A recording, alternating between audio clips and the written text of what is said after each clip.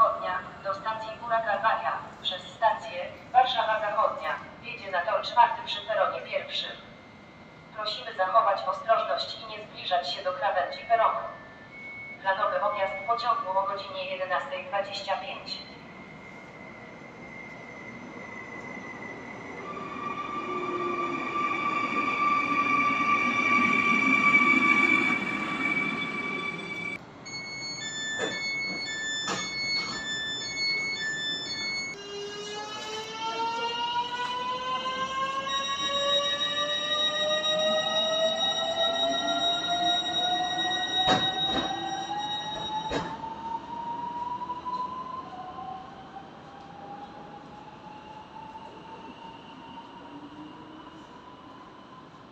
Bye-bye.